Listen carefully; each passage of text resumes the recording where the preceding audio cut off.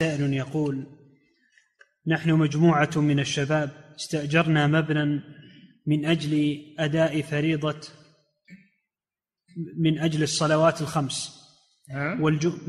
يقول استأجرنا مبنى من أجل أداء الصلوات الخمس والجمعة وكانت وكان المكان يباع فيه بضائع من قبل. هذا وين هو فيه؟ ما في مساجد؟ نعم صلوا في المسجد إذا كان حولكم مساجد صلوا في المساجد. ما تستأجرون محل تصلون فيه.